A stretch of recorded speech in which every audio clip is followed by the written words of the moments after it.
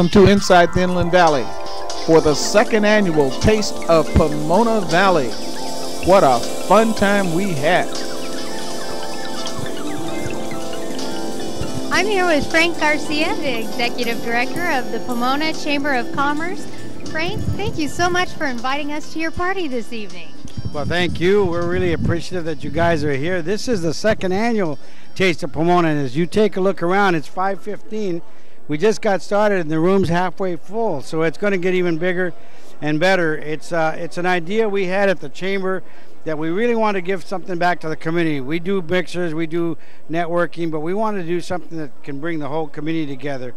So it's a real good get together, and we're really pleased that you guys are here to cover this.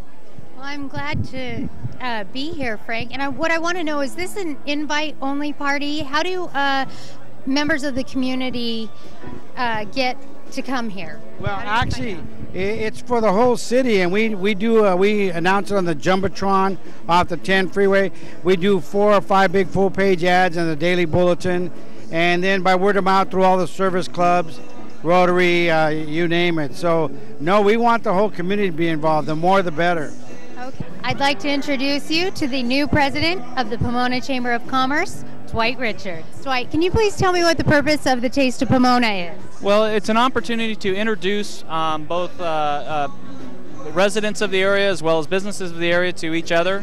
And uh, we bring in restaurants and businesses to come in and to the taste, uh, introduce themselves. Uh, it's a wonderful way to spend the evening. You get a dinner out of it just by moving around from table to table. And, uh, and, and you know, we're always looking for a good place to eat. So this is